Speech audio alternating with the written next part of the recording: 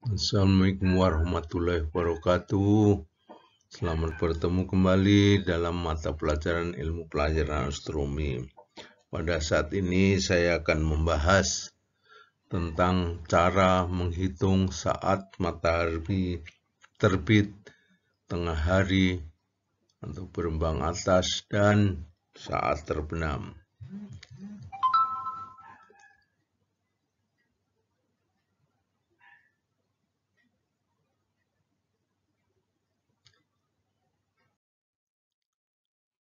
Pendahuluan bagi seorang pelaut maka untuk mengetahui saat berembang atas, saat terbit, terbenam, dan berembang atas matahari sangatlah penting karena mempunyai manfaat sebagai berikut. Satu, untuk mengetahui saat kapan dapat dilakukan penilikan benda angkasa, benda astronomi, bintang, planet, dan bulan. Sebab penilikan hanya dapat dilakukan pada saat sesaat sebelum matahari terbit dan sesaat setelah matahari terbenam atau saat fajar atau saat senja menjelang senja yaitu pada saat cakrawala masih kelihatan jelas dan benda angkasa sudah mulai terlihat. Yang kedua, penentuan posisi saat matahari berembang atas atau nun position masih diwajibkan bagi perwira kapal yang berlayar di antar benua atau antar samudra atau ocean going vessel untuk mengisi di buku harian kapal atau logbook.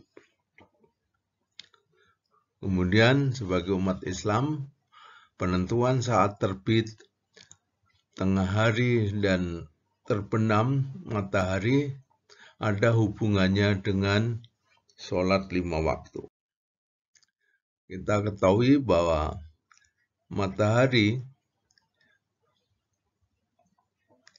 menjelang terbit ini adalah waktu fajar menyingsing yaitu sejak subuh sampai suruk. Setelah suruk maka matahari akan terbit. Pada waktu ini merupakan sholat subuh dan waktu ini juga dapat ditentukan posisi dengan benda angkasa tadi, bintang, planet, bulan.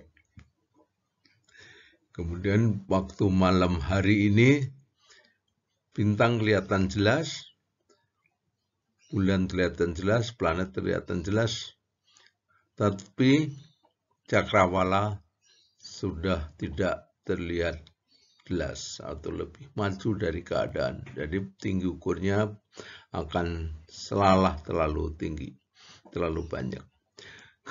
Kemudian ini waktu suruk, waktu yang diharamkan untuk melakukan sholat apa pun. Jadi ini tidak boleh melakukan sholat, kemudian sampai waktu duha. Waktu duha matahari sepenggalah.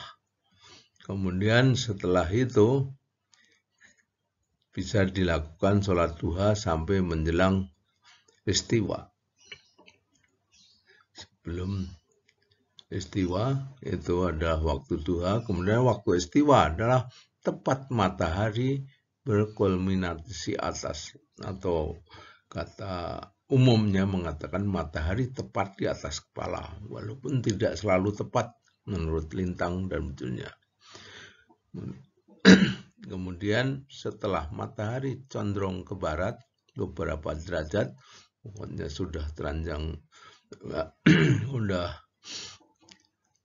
ke barat, maka dapat dilakukan sholat luhur sampai waktu asar. Waktu asar adalah jika bayangan benda sama tingginya dengan bendanya. Jadi kalau mau orang 150 cm, maka kena sinar matahari tinggi ukur bayangannya sama dengan tinggi badannya jadi sama dengan 150 cm. Kemudian sholat asar dilakukan sampai saat terbenam matahari di kemudian sampai terbenam menjelang masih matahari di atas cakrawala kemudian saat kurub saat waktu matahari masuk itu diharamkan untuk melakukan sholat apa pun juga. Jadi ini waktu huruf. Kemudian setelah itu beberapa saat, kemudian beberapa detik, kemudian bisa dilakukan sholat maghrib sampai senja. Senja dilakukan sampai hilang cahaya kuning di barat. Kemudian ini malam lagi. Kemudian seterusnya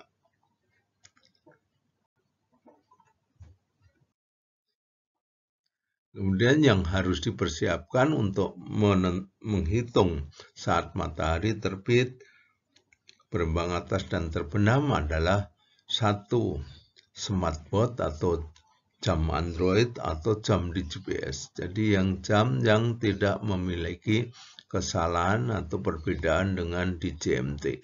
Jadi tidak ada duduk lalu langkah. Hanya perbedaan di dalam tolok saja. Kemudian posisi di mana merupakan tempat di mana waktu itu akan ditentukan. Kemudian menggunakan almanak nutika yang tahun berjalan, ya ini mengenai hari atau tanggal bulan. Kemudian kita contoh. Diketahui bahwa kita posisinya di komplek Voltek AUP yaitu 6 derajat 17,6 menit selatan, 106 derajat 50,1 menit timur. Diminta saat matahari terbit, tengah hari, dan terbenam pada tanggal 10 November.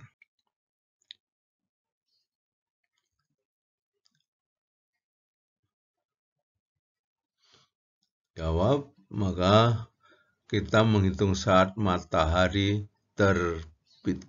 Caranya sebagai berikut. Bukulah buku Almanak Nutika halaman 219 yang berisi tanggal 9, 10, dan 11. Kemudian hari Rebu, Kamis, dan Jumat. Kita lihat hari Rabu, Kamis, dan Jumat tanggal 9, 10, dan 11. Kemudian kita lihat di waktu matahari terbit. Di sini kita berbesar. Jadi lintik 0 derajat, ini 0 derajat, dan ini kita buka, yaitu di lintang dan di 0 derajat dan 10 derajat. Kita lihat di lintang 0 dan 10 derajat selatan. Kemudian kita lihat waktu senja secara notika dan secara sipil secara umum yaitu kemudian secara saat matahari terbit.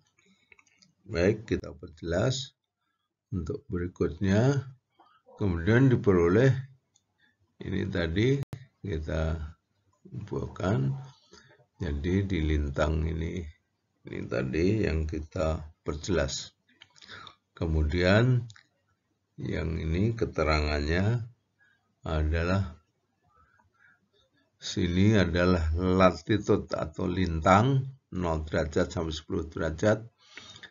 Twilight itu cara notika atau pacar kemudian notik atau notis secara notis kemudian sipil secara umum atau pada umumnya kemudian sunrise saat matahari terbit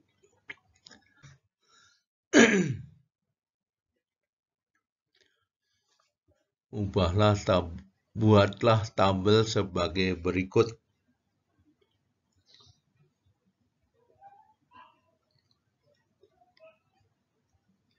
Carilah fajar dan terbit matahari pada lintang 6 derajat 17,6 menit selatan. Yang diperoleh di dalam almanatotika yaitu di lintang 0 derajat dan 10 derajat selatan maka perlu diinterpolasi. Kemudian kita lihat itu hasil lihat di almanatotika ini 0 dan 10 derajat. Kemudian saat fajar jam 4.54 ini di 0 secara notika dan 40 ini perlu diinterpolasi karena yang dicari di 6 maka kita interpolasi sebagai berikut.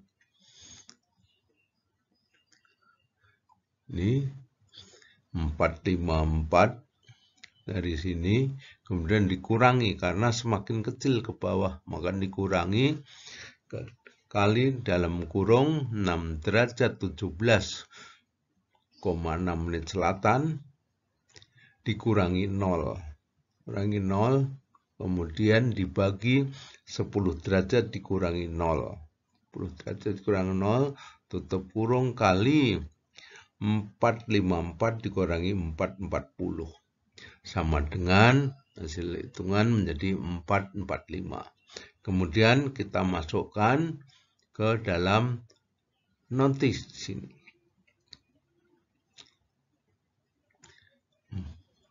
Kita masukkan menitnya kemudian jamnya kemudian tanggalnya.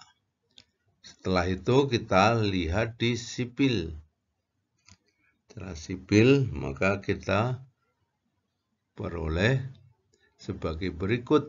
Jadi ini 5 19 yang di 0 yang di 10 5 06. Jadi semakin kecil maka rumusnya minus. Sama dengan yang di atasnya perkaliannya aja yang beda karena ini 5 19 dikurangi 5 6 menit. Maka ketemu jam 511. Kemudian kita masukkan ke dalam sipil sini. Masukkan menitnya, kemudian jamnya, kemudian masukkan tanggalnya. Setelah itu kita cari di sunrise. Sunrise sama yang diketahui adalah 540 dan 524 semakin kecil juga jadi minus juga maka rumusnya sama hanya perkalian yang beda karena 540 kurangi 528 maka diperoleh pukul 532 kemudian kita masukkan ke sini.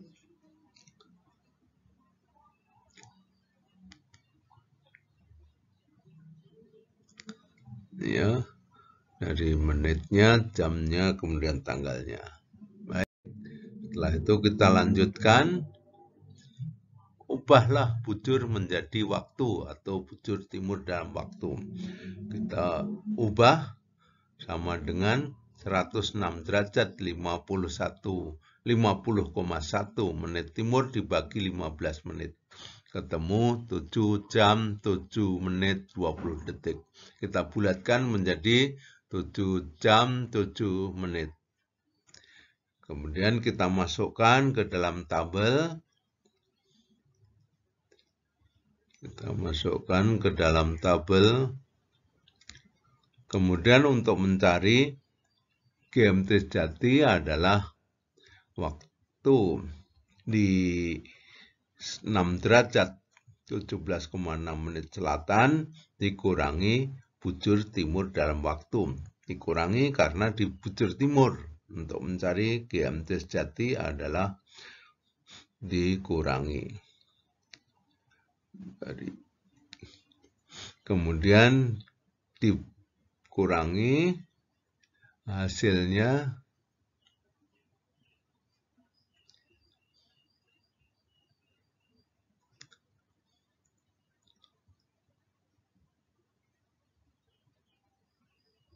ya kita kurangi dulu di notice dulu di menitnya, kemudian jamnya karena nggak bisa 4 dikurangi 7 nggak bisa maka pinjam satu hari atau 24 jadi 28 kurang 7 sama dengan 1 sehingga tanggalnya menjadi tanggal 10 kemudian demikian juga yang untuk secara sipil dan cara sunrise. Kemudian tanggalnya masing-masing kita tulis sama sehingga 10 karena dikurangi satu tadi dipinjam satu maka ketemu tanggalnya menjadi tanggal 9 karena kurang satu hari. Ya setelah itu kita masukkan delta tolok. Delta tolok WIB adalah 7 jam, ditambahkan 7 jam untuk mencari saat di WIB adalah GMT sejati ditambah delta tolok WIB 7. Jadi kita masukkan 7 jam, kemudian kita mencari saat pacar dan saat terbit dengan menambahkan antara GMT sejati dengan delta tolok.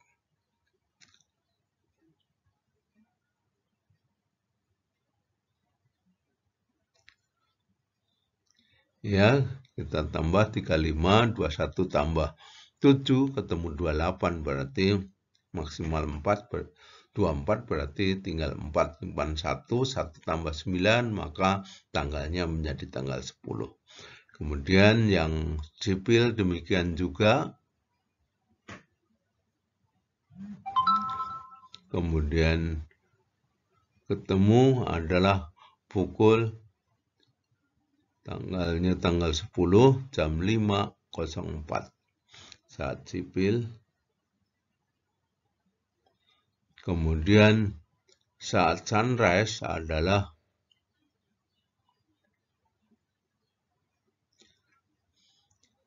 0525 tanggal 10. Jadi kita sudah memperoleh saat Fajar secara notis pada pukul 4.38 dan saat sipil secara sipil 5 4 menit jam 5 lewat 4 menit kemudian sunrise jam 5 lewat 25 menit.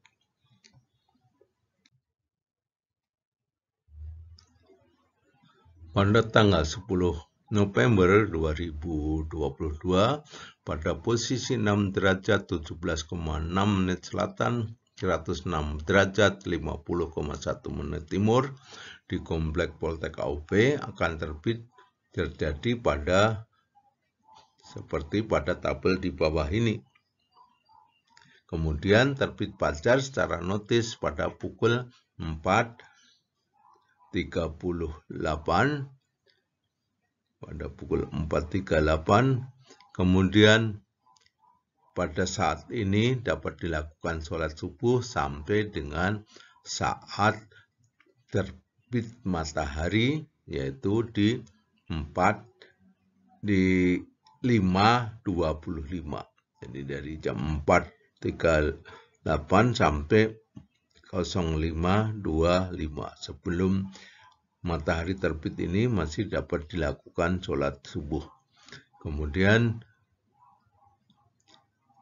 terbit baca secara notis secara sipil yaitu pada pukul 05.04. Kemudian matahari akan terbit pada pukul 5.25. Jadi ini yang akan terjadi.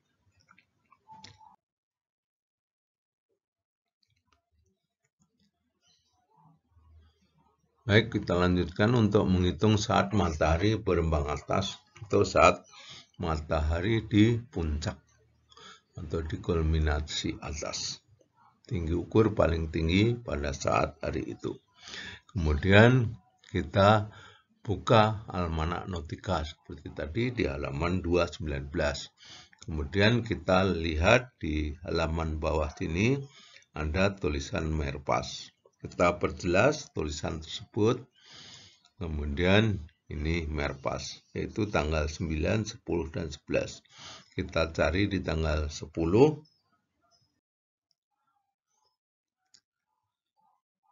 Ya. Kemudian kita buat daftar sebagai berikut. Yaitu di kemudian kita lihat di Merpas tanggal 10. Merpas, kemudian tanggal 10. Kita tarik garis dari bawah ke sampai 10 dan dari 10 sampai di bawah Merpas. Maka diperoleh angka 1144.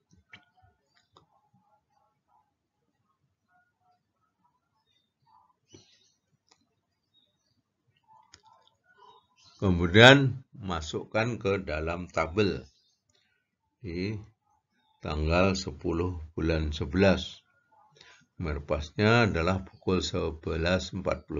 Kemudian bujur dalam timur dan waktu, kita tadi sudah punyai 7 jam 7 menit 20 detik.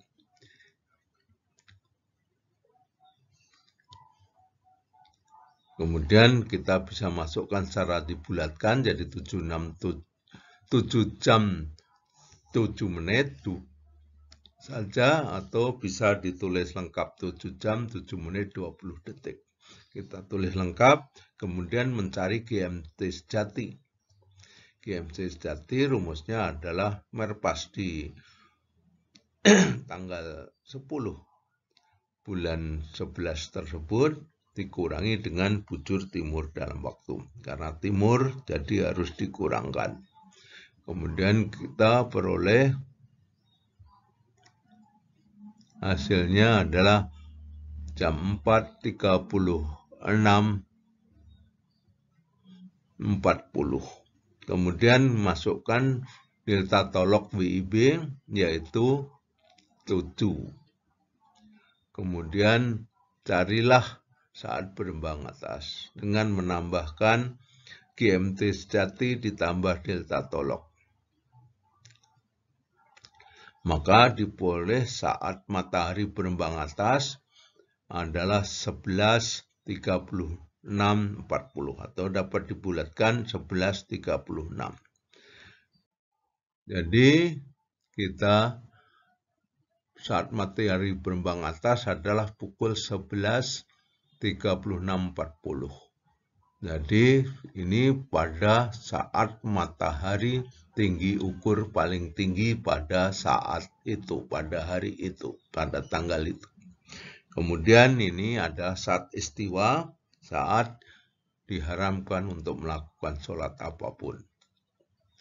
Terjadi hanya beberapa menit atau bahkan cuma beberapa detik di suatu tempat. Tapi ada yang sampai 10 menit istiwanya, puncaknya. Tapi ada yang hanya berlangsung beberapa detik, kemudian matahari sudah condong ke barat.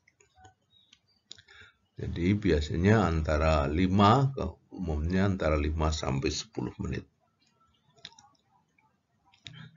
Kemudian salat luhur dapat dilakukan setelah beberapa menit.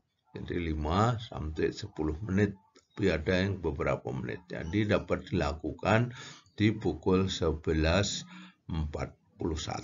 Tapi untuk menjaga bahwa jika terjadi kesalahan, maka ditambah 10 menit. Jadi jam 11.51. Jadi pada hari ini tanggal 10 bulan 11 maka sholat luhurnya jam 11.50. Yang menghitung gitu atau tapi dalam perhitungan ini dapat dilakukan di 11.41. Demikian untuk setengah hari. Kemudian kita yang ketiga menghitung saat matahari terbenam. Sama dengan tadi kita lihat di Almanak Nutika halaman yang sama. Kemudian kita lihat di halaman sama ini adalah saat terbenam atau sunset. Kemudian kita perjelas gambarnya yaitu di lintang 0 dan 10 selatan sama seperti tadi baik kemudian buatlah tabel sebagai berikut.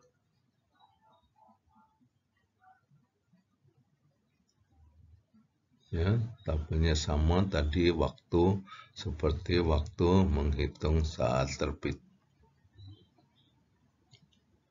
Sama hanya karena di daftar ini sunset lebih dulu. Kalau di terbenam yang terbenam ada ditulis sunset lebih dulu baru saat senjanya. Karena urutannya gitu terbenam terus senja. Setelah itu kita carilah senja dan saat matahari terbenam pada lintang 6 derajat 17,6 selatan dan bujur 10 6 derajat 50,1 timur. Yang diketahui ada di lintang 6 derajat, 0 derajat, dan 10 derajat selatan. Maka perlu diinterpolasi. Interpolasi sunset dulu jam 17.47 ke 18 berarti semakin bawah semakin besar. Jadi kita hitung seperti ini, jadi sini plus karena ini bawahnya ini lebih besar daripada atasnya. Jadi ketemu adalah pukul 17.55. Kemudian kita masukkan ke dalam tabel 55 menit, jamnya, kemudian masukkan tanggalnya. Setelah itu kita lihat di sipil. Sipil juga semakin semakin ke bawah semakin besar, semakin kelintangnya besar maka waktunya semakin besar. Maka rumusnya ditambah ketemu jam 18 8 18.17. Kemudian kita masukkan ke dalam tabel ini.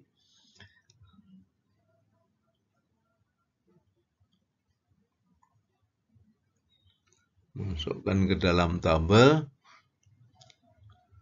dari menitnya, jamnya, kemudian tanggalnya. Setelah itu kita cari di notik. Sama di notik juga semakin ke bawah semakin lintangnya besar maka waktunya semakin malam. Jadi 1834 dan 1848. Jadi rumusnya sama, kemudian diperoleh 1843. Kita masukkan, kemudian masukkan menitnya, jamnya, kemudian tanggalnya. Kemudian kita cari di bujur timur dalam waktu tadi kita pernah menghitung temu 7 jam 7 menit 20 detik dapat dibulatkan menjadi 7 jam 7 menit.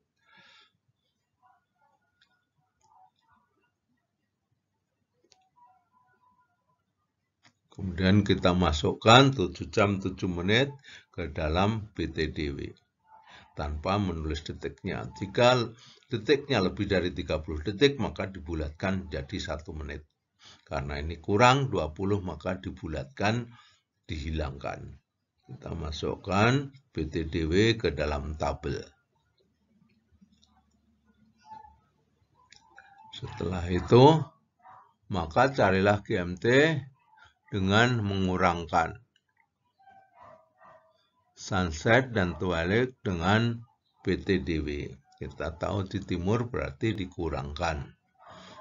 Kemudian kita ketemu mencari GMT sejati. GMT sejati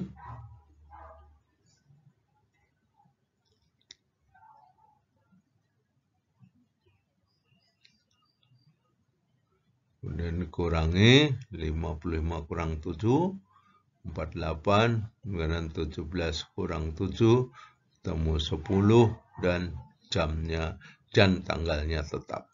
Demikian juga yang waktu sipil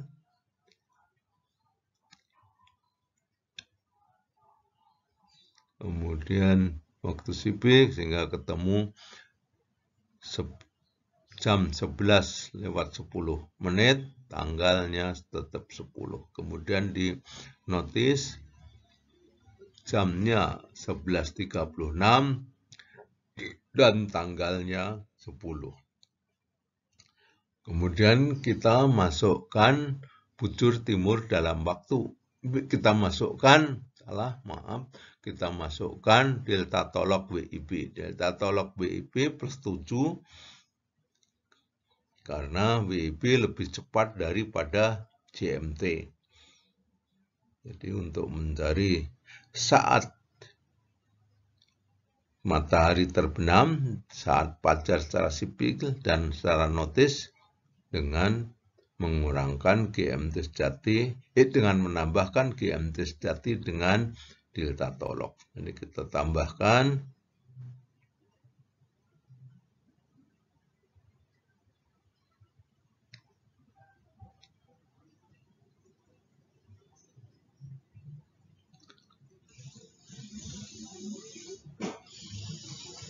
maka diperoleh pukul 17.48 tanggal 10 itu saat matahari terbenam.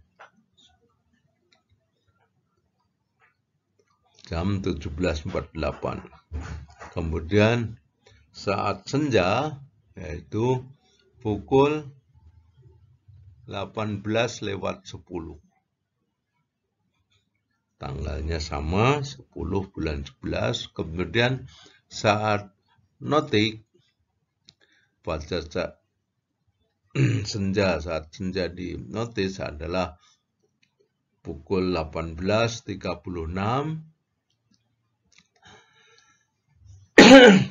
tanggalnya sama. Jadi itu yang kita peroleh saat mata di terbenam saat senja secara sipil dan secara notis. Ya, jadi saat matahari terbenam adalah pukul 17.48. Kemudian saat senja secara umum adalah 18 lewat 10 dan senja secara notis adalah pukul 18.38. Jadi, sholat maghrib dapat dilakukan setelah pukul 17.48. Beberapa detik kemudian karena matahari akan segera tenggelam tidak sampai 30 detik setelah matahari tenggelam maka sudah dapat dilakukan sholat maghrib. Jadi saat sholat maghrib jadi tidak ada sholat sunnah sebelum sholat maghrib. Jadi sholat taidul maghrib masih dilakukan. Ada yang lakukan tapi sebelum matahari pas kalau sudah suruk tidak boleh. Jadi kalau datangnya sebelum suruk berarti bisa melakukan taidul maghrib. Tapi kalau pas bertepatan dengan suruk tidak di perkenalkan untuk sholat tahiyatul masjid atau sholat sunnah yang lain. Jadi demikian yang dapat kita hitung pada saat ini. Semoga bermanfaat. Assalamualaikum warahmatullahi wabarakatuh.